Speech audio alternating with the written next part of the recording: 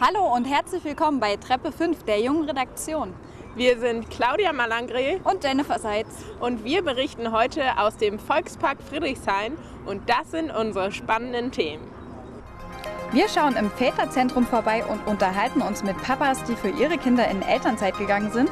Stationär erkunden wir den U-Bahnhof Warschauer Straße und seine Umgebung. Und weltbewusst präsentieren wir euch ein Konzept zu fairem Kaffeehandel.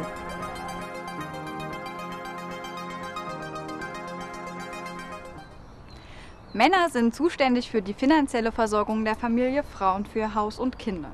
Seit das eine gesellschaftliche Norm war, ist schon einige Zeit vergangen und auch in Sachen traditionelle Rollenverteilung hat sich so einiges getan. Dass sich Männer nämlich auch ganz gut ohne die Hilfe ihrer Partnerin um ihren Nachwuchs kümmern können, das beweist ein Blick ins Berliner Väterzentrum.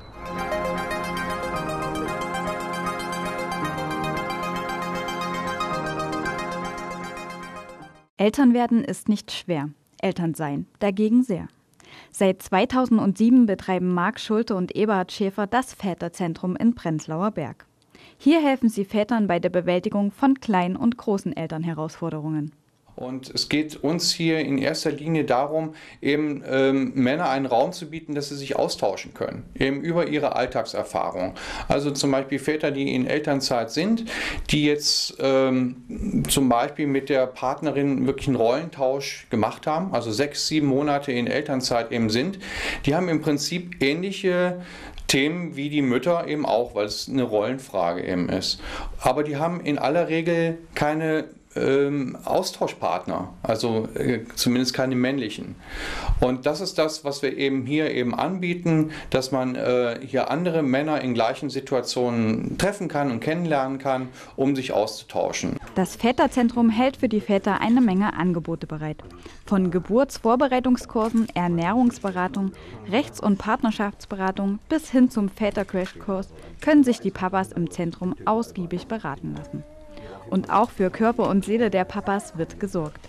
Neben dem Elternzeitcafé, in dem lecker gefrühstückt werden kann, bietet das Väterzentrum auch jede Menge Unterhaltungsprogramm. Dann gibt es jede Menge Angebote, Eventangebote für Väter mit größeren Kindern, eben zum Beispiel diese Indianerreisen oder ein Kickerturnier oder zur EM gibt es dann hier Papa-Viewing.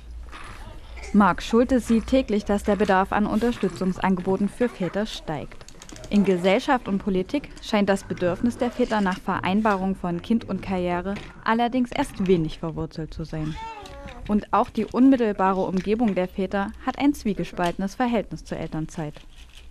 Als ich diese Entscheidung zum Beispiel mitgeteilt habe mit meine Freunde und, und, und, auch ältere Freunde, so, die Leute über 45 haben nur gesagt, ah, viel Spaß, das wird dir nicht funktionieren, das wird Probleme geben. Die Leute, sagen wir mal, zwischen na, unter, unter 40 auf jeden Fall. Der Großteil dieser Leute sagt, ja, das finde ich super. Alle haben die gleichen Probleme und müssen das irgendwie jonglieren. Diese Tage, heutzutage sind viele Leute eben berufstätig, sowohl die Frau als auch der Mann. Und ähm, um irgendwie das ausgeglichen hinzukriegen im Familienleben, ähm, ist es einfach nötig, dass auch die Männer die Rolle übernehmen. Neben der Etablierung der neuen Vaterrolle in Politik und Gesellschaft müssen vor allem die Eltern selbst den ersten Schritt wagen. Marc Schulte ist der Meinung, dass es für viele Väter nicht zum Selbstverständnis gehört, eine aktive Vater- und Erzieherrolle zu übernehmen. Das Wichtigste ist laut Schulte allerdings, dass die Elternteile gemeinsam entscheiden, wie die Kindererziehung aussehen soll.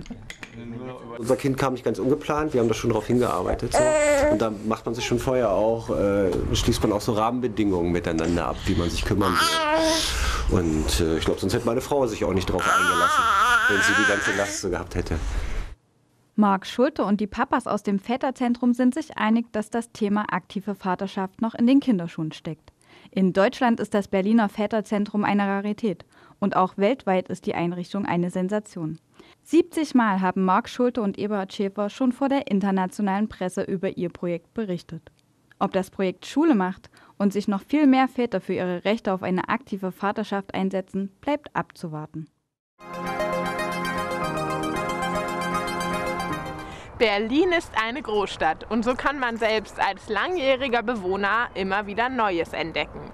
In unserer Rubrik Stationär stellen wir euch jede Woche den Kiez um einen Berliner Bahnhof vor.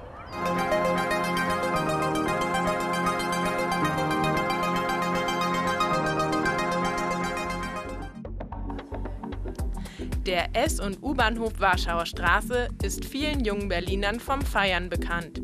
In der Nähe befinden sich unterschiedlichste Clubs wie der Magnetclub, das Watergate und das Cassiopeia, das sich in den alten Bahnhofshallen niedergelassen hat.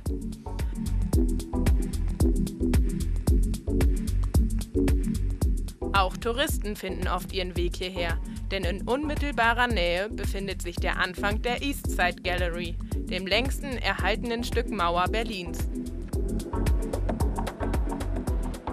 Das 1316 Meter lange Stück der sogenannten Hinterlandmauer wurde 1990 von 118 Künstlern aus 21 Ländern bemalt und steht unter Denkmalschutz. Die eigentliche Grenze bildete an dieser Stelle jedoch die Spree.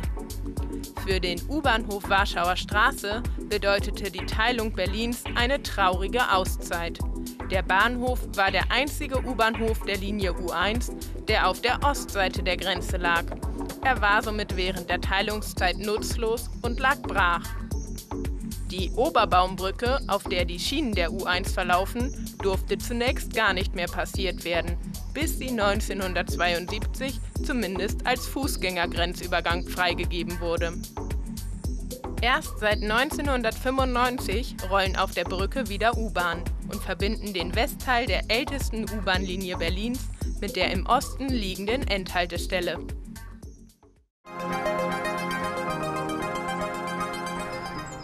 Das erste, was ich heute Morgen gemacht habe, war den Knopf der Kaffeemaschine zu drücken. Denn ohne flüssiges Koffein läuft bei mir gar nichts. Kaffee ist aber nicht nur ein weltweit beliebtes Getränk, sondern weckt bei manchen Menschen auch eine ganz weltbewusste Seite.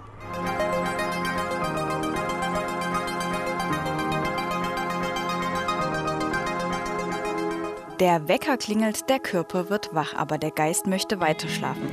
Um dem entgegenzuwirken, führt der Gang der meisten Menschen erst einmal in die Küche zur Kaffeemaschine. Sobald der Kaffeeduft in die Nase steigt, kann der Tag beginnen.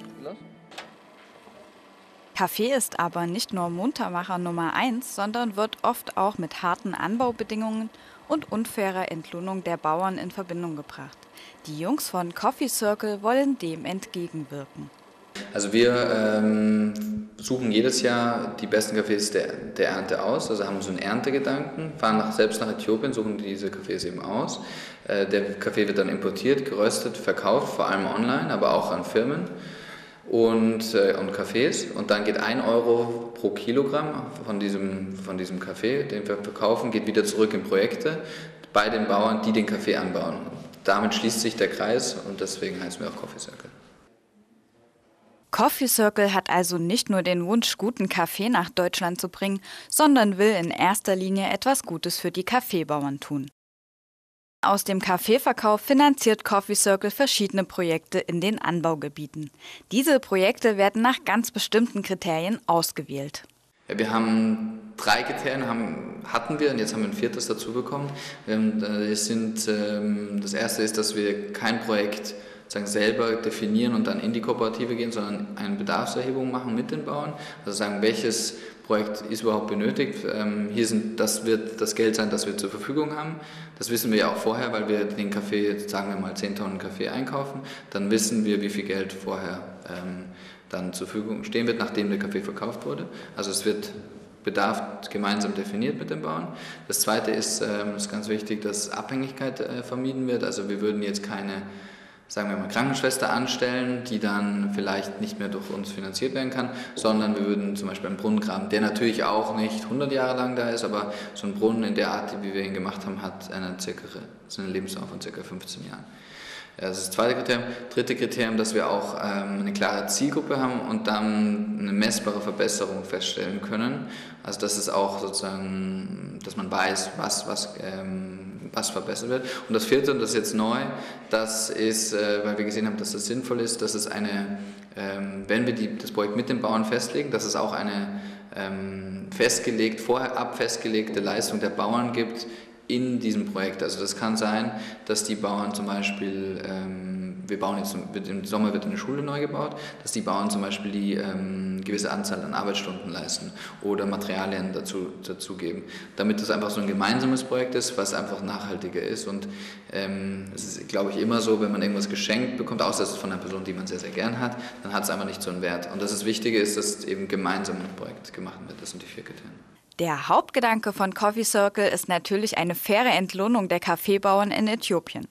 Trotzdem verzichtet das Team bewusst auf ein Fairtrade-Zertifikat, weil ihnen dieser Standard nicht weit genug geht. Ich glaube, dass Fairtrade eine sehr gute äh, Wegbereiter war, auch Bewusstsein geschafft hat ähm, bei, bei vielen Leuten, dass es da ein Missverhältnis gibt zwischen sozusagen den Leuten, die den Kaffee anbauen und, und hier, zwischen den Konsumenten. Aber äh, die, die, die, Dynamik von Fairtrade finden wir eigentlich äh, für uns nicht richtig. Das Problem, das wir sehen, ist einerseits mit der Transparenz. Also es ist so, dass bei Fairtrade ähm, 20 amerikanische, also US-Cent pro Pfund äh, beim Bauern extra ankommen. Und äh, als Konsument würde ich, oder glaubt, glauben die Großteil der Menschen, wenn sie in den Supermarkt gehen und einen, einen Kaffee kaufen, der 2 Euro teurer ist, dass diese 2 Euro mehr beim Bauern ankommen. Aber es ist eben nicht so, sondern es kommen diese festgelegt, diese 20 amerikanischen Cent pro ähm, Pfund äh, beim Bauern an. Neben der fairen Bezahlung der Bauern für die aufwendige Kaffeeproduktion setzen sich die Mitarbeiter von Coffee Circle dafür ein, dass ihre Produkte ein Biozertifikat erhalten. Der Kaffee wird zwar sowieso biologisch angebaut, doch das Zertifikat hat einen entscheidenden Effekt. Der Effekt einer Biozertifizierung ist, dass man höhere Preise bekommt als Bauer, weil man, also in Äthiopien sind das 20 äh, US-Cent pro Pfund, der, der mehr verlangt werden kann. Das ist keine festgeschriebene Regel, das ist nur sozusagen ein Marktmechanismus. Die Produkte der Firma nutzen aber nicht nur den Bauern, sondern auch der Umwelt. Coffee Circle achtet nämlich während des Produktionsprozesses auf die CO2-Emissionen und versucht diese wieder auszugleichen. Das heißt, äh, wir errechnen im ersten Schritt, wie viel CO2 durch den Transport von des Kaffees wirklich aus allen Kooperativen, mit denen wir zusammenarbeiten, bis nach Europa entsteht und auch bis zum Kunden entsteht. Das ist, da haben wir eine Summe von äh, dieses Jahr 33 Tonnen äh, CO2.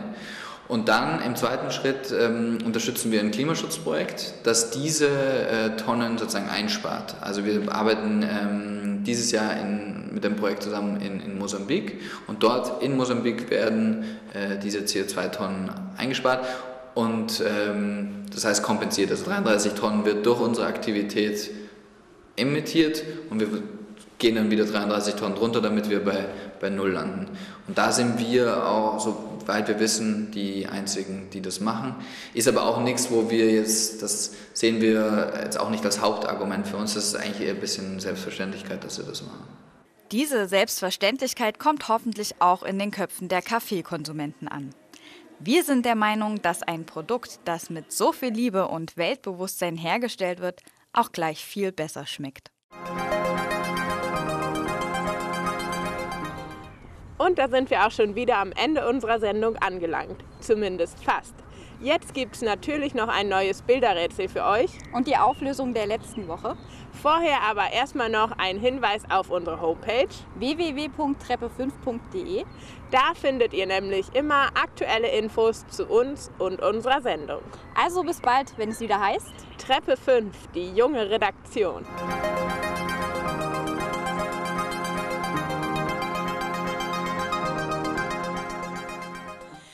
Diese Einstellung wurde in Berlin gedreht.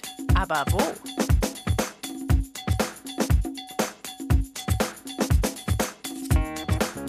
Ihr habt noch 20 Sekunden, es herauszufinden.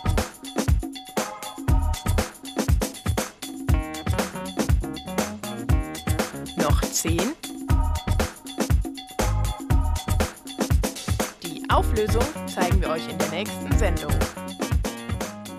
Und hier die Auflösung des letzten Rätsels. Wir waren in der Mariannenstraße in Kreuzberg.